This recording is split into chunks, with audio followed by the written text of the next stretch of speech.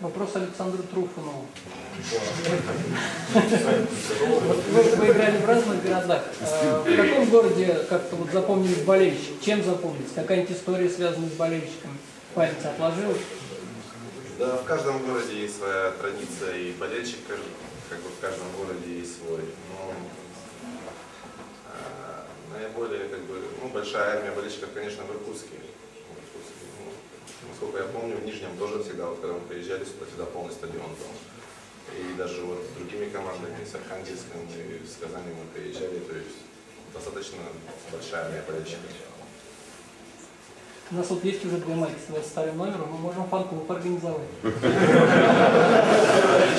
меня тоже три есть, это уже четыре.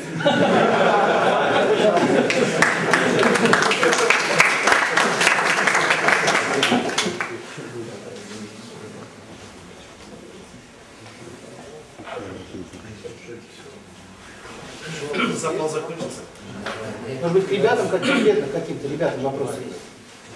А ребятам какие вопросы? Вот у нас команда, там Денис, как было, мы всегда кричали «Ваня, давай!» Потому что это болельщики, есть болельщики. И всегда поддерживали команду. И вот я считаю, чтобы команда наша вот в настоящее время была такой же сплоченной. Вот мой Кубак расскажет, он вырос и, значит, это. Желаю вам побед и хорошего места. Спасибо.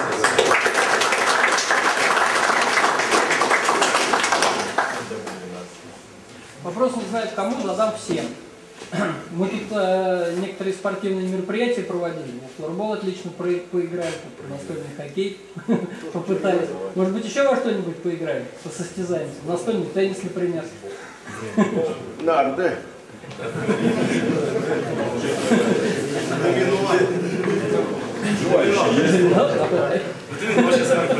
Знаете, я думаю, сейчас не до этого будет.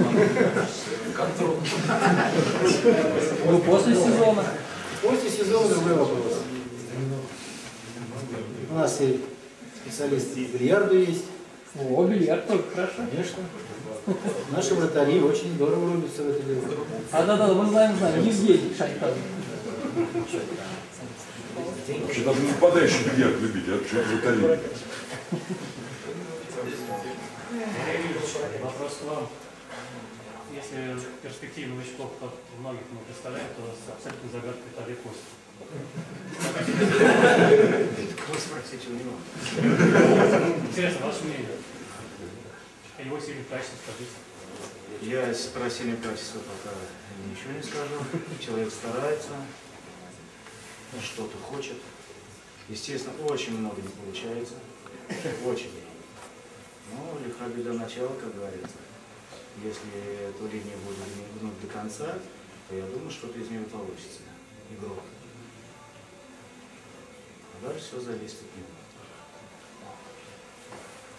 Продолжим тему молодых игроков. Алексей Григорьевич, вот вы подарили клипки, да, попадали в заявку, а еще будет? Ну, будет, э, естественно, сейчас посмотрим, как э, еще не видели на большом углу команду юниоров 93 года рождения. Естественно, по регламенту, э, что заявочные Заявки да, на каждую игру да, по два игрока должно быть заявлены э, игроки от 92 года рождения и, младше. Пока у нас вот Андрей Климкин. Был у нас, э, где э, в июле начали, когда 13, э, три человека, ну, не выдержали нагрузок. Ну, двое выдержали, уже хорошо.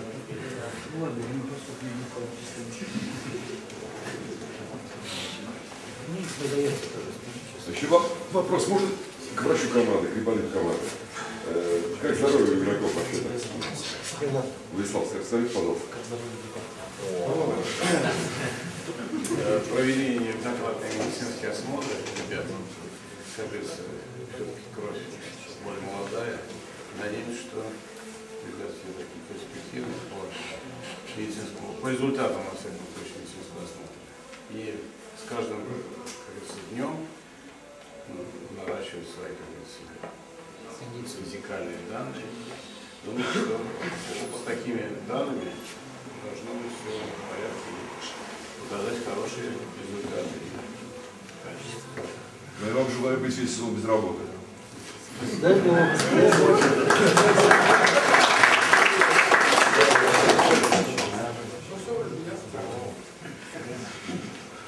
Вопрос к Евгению Черепанову. В одной социальной сети есть э, ваша фотография с гармонией. Вы владеете этим инструментом? А каким, каким, каким-нибудь другим? Рояль куста. Еще вопрос, кто подсунул гармонию? Переводчик командного состояния.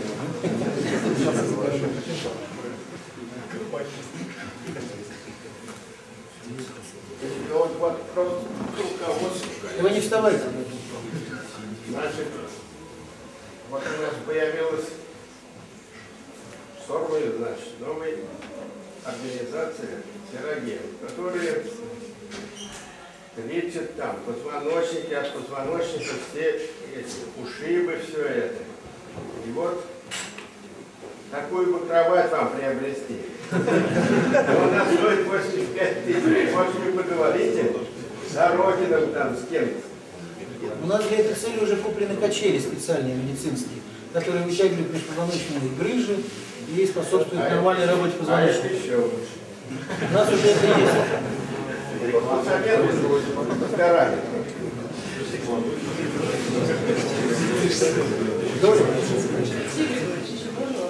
Скажите, тренировки сколько раз в день вы проходите? Один или два в плане?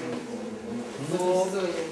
э, нас, если на стадионе старт мы будем играть, когда там зимой лед будет э, готовый, естественно, у нас утренние будут занятия и вечерние. А сколько здесь? А вечерние мы 5 часов. 5 часов, да. Утренние, где-то мы можем где-то 10 пол 11 начинать, а вечерние 5 часов. Здесь у нас нет возможности на стадионе труд, у нас только дают только до обеда. Э, Мы тренируемся с полдвенадцатого до часа, больше времени нам здесь не дают, к сожалению. Сейчас вот, возможно, будут даже проблемы, если вот у нас и- игры вечером здесь будут, а тренироваться будем днем. Хотелось бы, чтобы перед игрой нам хотя бы одну тренировку дали вечернюю, чтобы ребята привыкли к этому свету. Ну, будем разговаривать.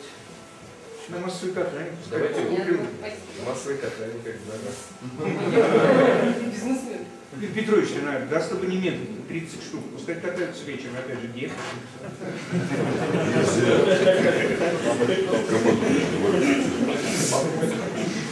Мы по- потом как не можем на следующий день игру собрать. Тем более в гармонии есть уже. Гармонист есть.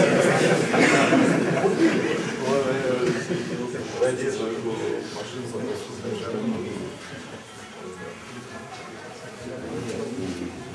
Сергей Григорьевич, Как Команда собирается Чистогорск. Скажите, то есть там день игры, за день, Нет, мы поедем 12 утром на автобусе, чтобы успеть к вечерней тренировке, если, знаете, игра в субботу будет 13 вечером.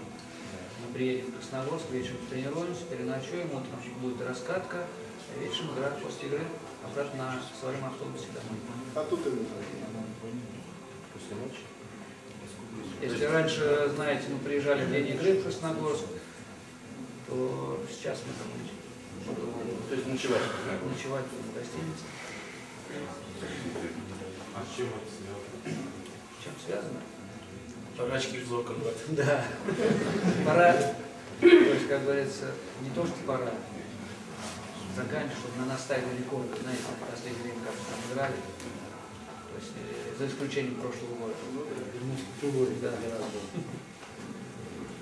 Ну, здесь Соперник нам, можно сказать, уже по силам. Мы это уже доказали уже на кубковых играх. Будем готовить серьезно.